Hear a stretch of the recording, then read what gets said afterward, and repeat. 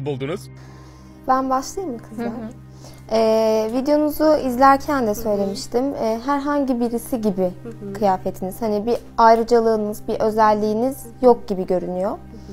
Ee, zaten arkadaşımız da hani sizi seçemedi. Evet. O yüzden bana çok basit geldi.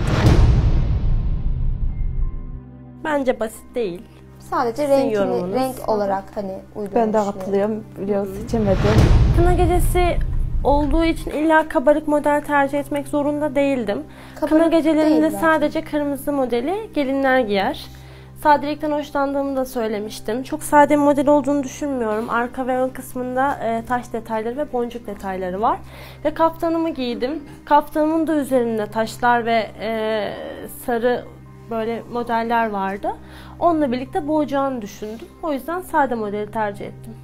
Ama şöyle bir şey de var. Kınada ne kadar kabarık, ne kadar şaşalı olursan o kadar Ben kabarık model Evet. o kadar ben gelin kabarığı- olduğun anlaşılıyor. Daha bir şık duruyor bence.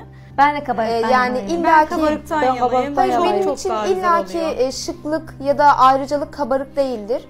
Daha farklı bir kıyafet Nasıl- giyseydiniz Nasıl de farklı? Farklı derken Ya mesela, mesela- bu kıyafetin üzerinde ne olabilirdi? e, ya çok sade bu. Dediğim Neresi gibi sade mesela? sadece burada bir taş yani bir ayrıntı sadece burası. Siz de Sizi sadelik- ayrıcalık kılan, ayrıca yani nasıl söylenir o? Sizi farklı gösteren, sizin gelin olduğunuzu ifade eden bir elbise olması gerekiyor diye düşünüyorum. Ne olabilirdi bu kıyafetin Yani üzerinde? Mesela Ne bu olabilirdi? kıyafetin üstüne bir kıvrak atılabilirdi.